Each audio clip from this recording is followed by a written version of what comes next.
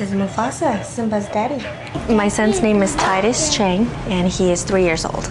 Titus has severe aplastic anemia of the congenital variety. So he was born with a bone marrow that wasn't functioning uh, properly and basically just not producing enough blood cells for the body. Our first reaction to his diagnosis, we were like, no, that's not possible. How, how could this be going on? I mean, he was born a fine, healthy, normal baby None of this ever happened. It's not genetic in our family. To date, he's been treated with uh, standard medical means, trying to encourage his bone marrow to make those blood cells. Special delivery for Titus. So now Titus is in having what we would call the definitive treatment, his uh, stem cell transplant.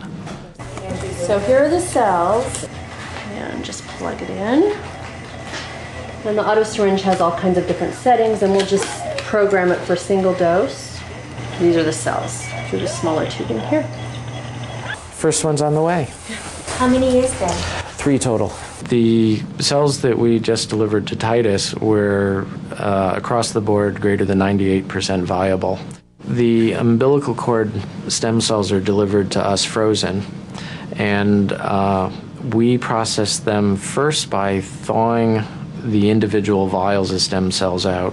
The entire thawing process takes roughly 15 to 30 minutes. The infusions of those uh, vials takes place over an additional 15 to 30 minutes, and so the entire transplant can be done really in a small number of hours.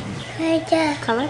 The cord blood transplant for Titus will return his life entirely to normal, and for uh, all appearances, he will have never had anything wrong with him.